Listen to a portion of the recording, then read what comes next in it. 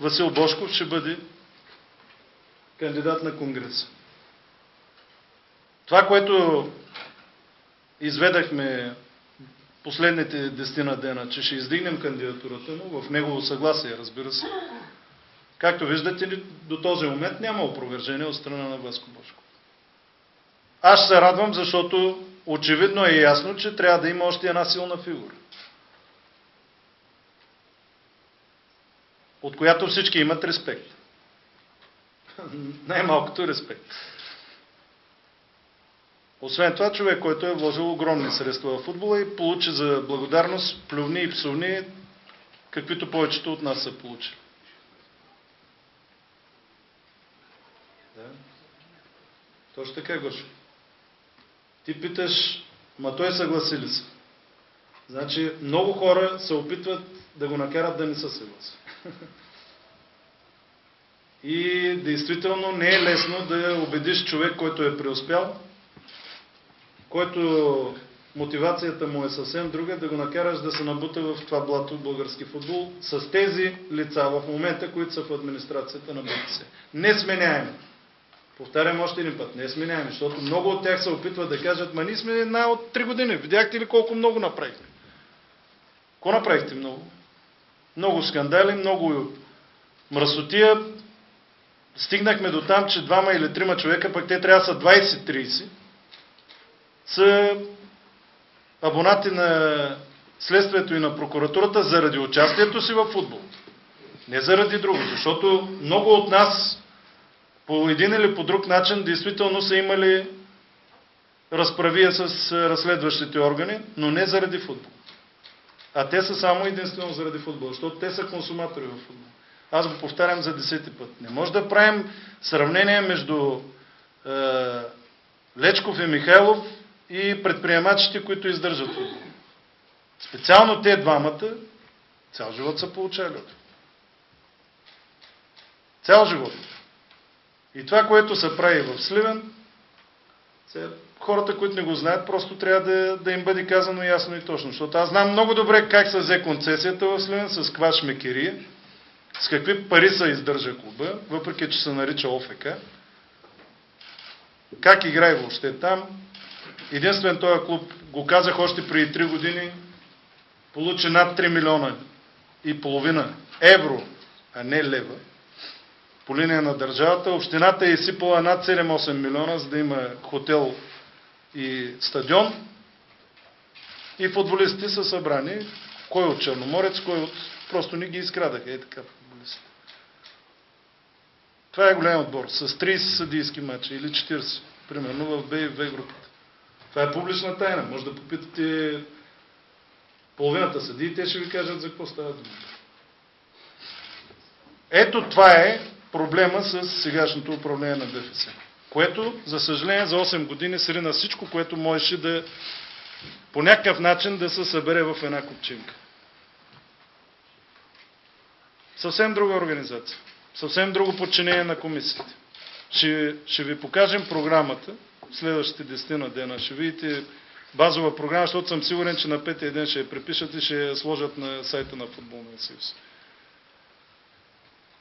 Въпреки, че те разчитат на сериозна организация. Върват и в Сливен, Северна България. Аз оня ден го казах, че събрал ги изпълнителният им директор сегашния в Варна оня ден. Събрали са 20-30 клуба.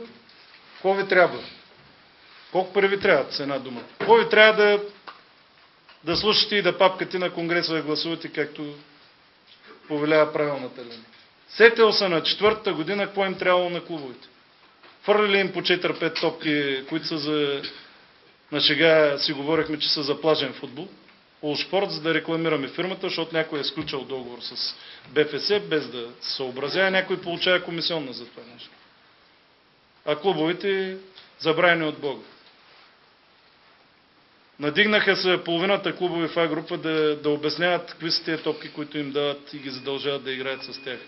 Попитайте каква е комисионната, която са получили да лансират тези топки, които не са за, за мачове на представителни отбори. В началото. Сега еди нещата малко се регулираха. Всичко е обвързано. Договори за спонсорство. Казал съм сто пъти, дали е с Никми, дали е с Загорка, дали е с Каменица. Тези договори държавата трябва влезе и ги провери.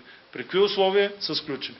Ако държавата не влезе, ако имаме възможност и успеем да убедим хората да гласуват за альтернатива, за промяна на управлението, ние ще ги проверим.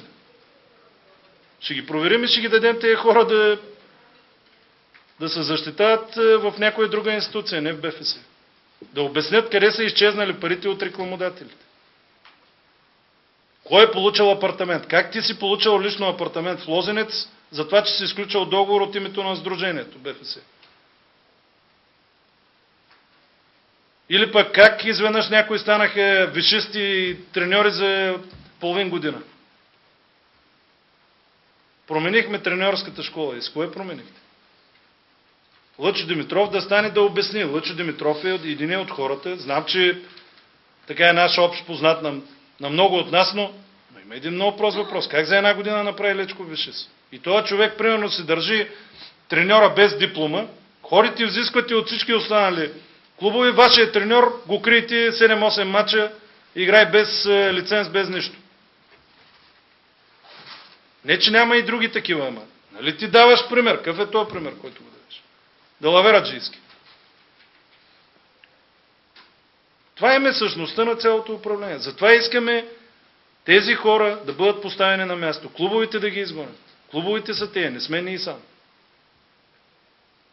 И те ще ги изгонят. Те просто чакат альтернатива. Чакат твърда ръка, за да видят, че някой може да въдвори ред в това сдружение. И за да не е монолог, аз ще помоля всеки от е, така присъстващите до мен, просто да ви кажат по пет думи. Още един път ви казвам, не се съобразявайте за форматите. Ще виждате различни хора на, на тая маса в следващите 5-6 седмици. Защото не можем да ги съберем всичките търсещи промяна на, на една пресконференция и не е необходимо. Нито пък е, да ви заприличаме на политбюро от преди 25 години, като се нареждат е, така номенклатурата в опозицията. Едва ли не. Аз думата опозиция не я харесвам и не, не, не нас прягайте като опозиция, защото ние сме членове на Сдружението. Борислав Михайлов не е член на Сдружението. Той не е член, той не е представител на клуб. Него го издигна Бероя и му теглиха една майна. Той за благодарност Бероя ги прати десета глуха. Клуба Бероя, който е дал сигурно половината национален отбор в порядка на 20 на години, е, тук поне има хора, които са играли с тези техни колеги. Клуба Бероя много хубаво му се отблагодари Борислав Михайлов. Стара Загора с камъни го чакат. И правилно. Така трябва.